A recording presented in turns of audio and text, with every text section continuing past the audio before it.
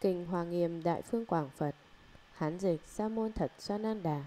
Việt dịch Tỳ Kheo Thích Minh Định. Hòa Thượng Tuyên Hóa giảng giải.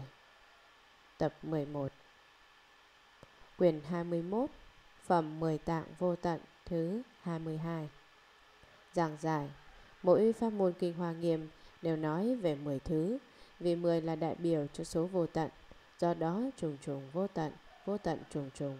Đạo lý này hết thuở vị lai cũng nói không hết Vì nguyên nhân này, cho nên phẩm này gọi là phẩm 10 tạng vô tận Pháp chẳng cùng tận, đều bao quát ở trong phẩm này Bồ Tát đầy đủ nguyện như vậy thì lập tức đắc được 10 tạng vô tận. một Tạng vô tận khắp thấy trừ Phật. hai Tạng vô tận đồng trì không quên. ba Tạng vô tận quyết rõ các pháp. bốn Đại bi cứu hộ. năm Đủ thứ tam muội sáu Mãn tâm chúng sinh phước đức rộng lớn. bảy Diễn nói tất cả pháp trí huệ thâm sâu. tám Báo được thần thông. chín Trụ vô lượng kiếp. mười Tạng vô tận và vô biên thế giới.